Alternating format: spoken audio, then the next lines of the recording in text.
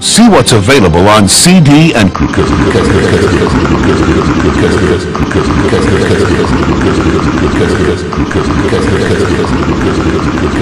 and now see what's available on CD and cassette.